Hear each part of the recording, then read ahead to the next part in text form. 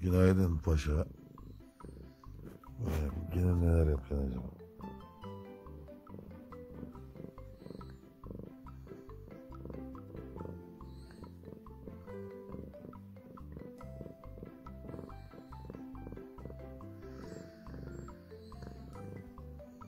O nasıl dil ya? Bu zımpara gibi.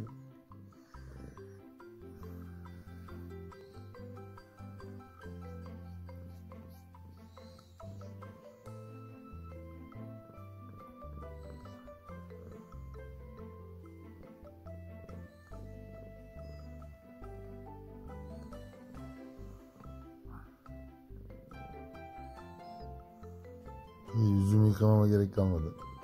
Sağ ol dostum. Hmm.